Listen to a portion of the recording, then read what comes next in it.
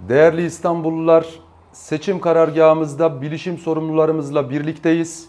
Saat 17'de oy kullanma işlemi sona erecek. Bütün İstanbulluları sayım döküm esnasında sandık görevlilerimizle birlikte müşahit olmaya davet ediyorum. Oy kullandığınız okulda okul sorumlularımızdan müşahit kartlarınızı alarak sayım döküm işlemlerinizi sandık görevlilerimizle birlikte takip edebilirsiniz.